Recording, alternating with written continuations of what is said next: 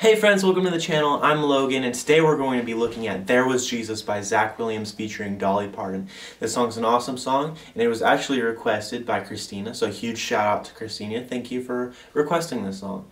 Let's jump right in. You're watching Logan's Lessons. Alright, if you haven't yet, go grab your guitar and grab your capo because we're going to have that capo on our first fret. Let's get started. Alright, the first part we're going to be talking about is the verse. and the verse, there are a couple chords. The first chord is a G chord. Okay, second chord we're going to have is a B minor chord. This chord is actually going to be a bar chord, and it's going to be pretty tricky. We're getting to, into some intermediate to advanced stuff here. And how we're going to play this, we're going to put our first finger on the um, second fret of our um, the second fret of our A string. Our third finger is going to be on the um, fourth fret of our um, of our D string, and this is all relative to the capo. Okay, fourth fret of our D string, our fourth finger, our pinky finger, is going to be on the fourth fret of our G string, and the second finger, our middle finger, is going to be on the third fret of our B string. Okay. That's all relative to the capo. Alright, the next chord we have is a C chord. Then to an A minor 7 chord, which is going to be a C chord without our third finger. Alright? Then back to G. Alright, so I'm going to be teaching you the um, the beginner version of this song. There's a lot of layers of guitar parts, but I'm going to teach you the um, the part that's going to get you there the fastest and you're going to have the most success with. All right. So what we're going to be doing for the chord for the verses, I mean, is we're going to be strumming the chord and then we're going to be picking some additional notes in the chord. All right. Um, this just gives it a little bit of fullness and um, some interest. And it's not that hard. So what we're going to do is we're just, every chord is going to be like pick out a couple notes, you know, and then you go to B minor, to C,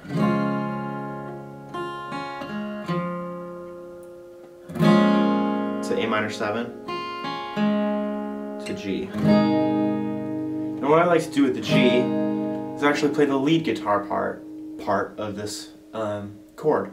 And what it is, is you're going to put your third finger on the fourth fret of your G string, alright? You're going to slide that down to the second fret, so it's going to look like this, right? Playing it with your D string. So you're going to play these two notes with this hand. It's going to look like this. You're going to go, you're going to slide from there down, then open, alright? So all together you got. And that's only after you play the second G chord of the sequence. So it goes G to B minor, to C, to A minor 7, and back to G, and then you go. Alright? That's how that's going to go.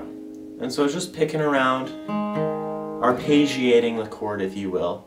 Um, that's not necessary, but it just adds a little bit of fullness and interest in the chord progression. Alright?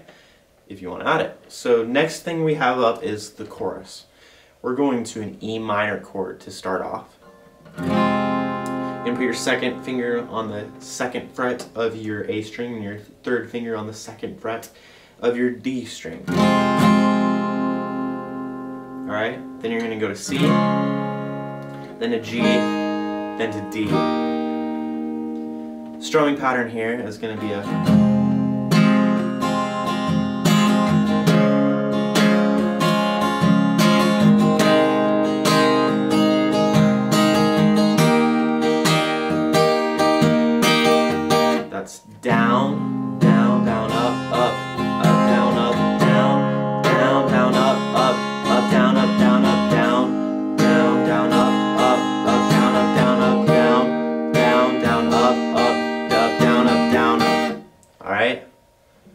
Slowly. Down, down, down, up, up, down, up,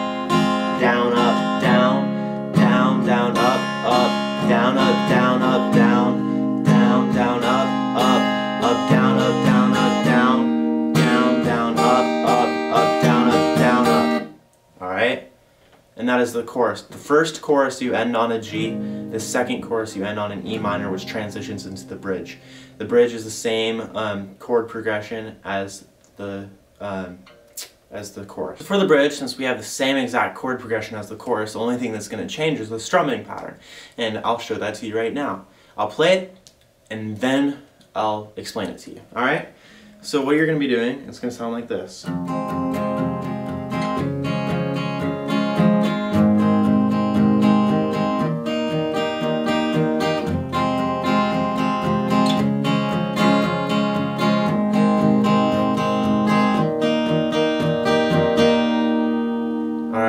All that is, is it's, um, you're to be like, and it's to crescendo throughout the bridge, meaning it's to ramp up in dynamics and it's to get louder. But basically what you're doing is you're playing the root note and then you're strumming up.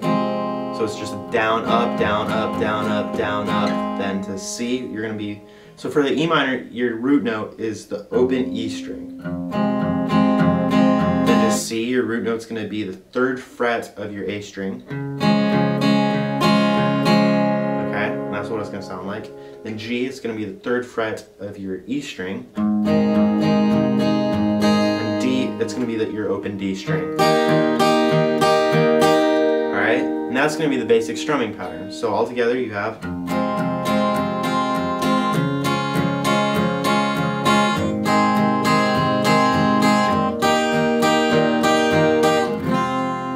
Then I go straight back into the into the chorus, and then it ends on a G.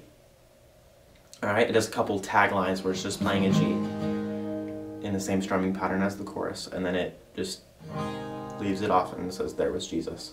And that is the end of the song. Alright y'all, thanks for watching. If this video helped you, please like and subscribe, and I hope you have a wonderful day. I have one announcement for you. I just dropped my new single. What Comes After This is available on all streaming platforms under the name Logan Freevol. The link will be in the description box below. And I also would like to inform you that I just started a new YouTube channel called Official Logan Freevol where I'll be posting my original music, music videos, and other content that you don't want to miss. So go check those out. The link will be in the description box. And if you have a request for a song like this one, please leave it in the comments below. Have a great week.